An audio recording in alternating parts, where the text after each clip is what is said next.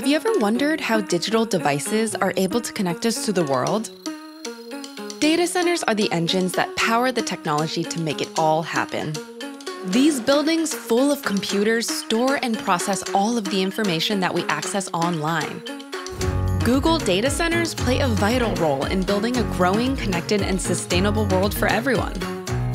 Google is committed to working with local communities to build the necessary infrastructure of tomorrow to support connection, digitization, and prosperity where it's most needed.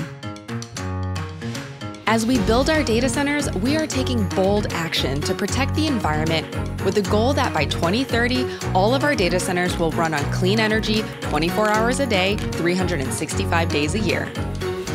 When Google invests in our own infrastructure, we also invest in the communities around us. We build lasting relationships with local organizations so that our support in the form of grants, education programs, and other initiatives aligns with local needs and priorities.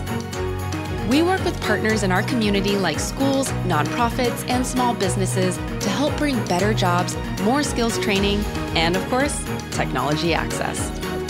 We believe by being stewards of the community and the environment, we can all help build a resilient future together.